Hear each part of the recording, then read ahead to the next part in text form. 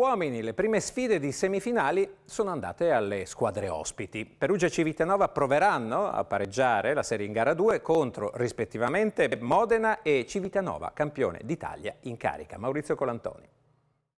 Con il 100% nei palazzetti a Pasqua e Pasquetta il volley sarà di nuovo protagonista con i due match di gara 2 delle semifinali scudetto. Si inizierà con un clima infuocato domenica al Palapanini. Dopo le quattro giornate allo schiacciatore cubano Leal per il calcione rifilato a fine gara a Travizza, la speranza è che torni il buonsenso con i riflettori puntati solamente sui grandi campioni in campo. Modena è avanti nella serie, peserà l'assenza di Leal, al suo posto giocherà l'olandese Van Garderen. La squadra di Gianni ha una panchina corta, a differenza di Perugia.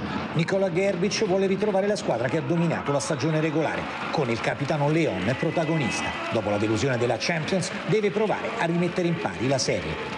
Anche Trento ha vinto la prima semifinale in trasferta in casa dei campioni d'Italia di Civitanova. Migliore in campo il solito Mattei Casischi, 37 anni, fisico da ragazzino, amato dal gruppo. È Trento la squadra da battere in questo momento. Civitanova dovrà giocare la migliore pallavolo. A rischio ancora il capitano Osmani Juan Torrena. Blengini dovrà affidarsi a tutta la forza del suo bomber tornato a casa, Ivan Zaisev.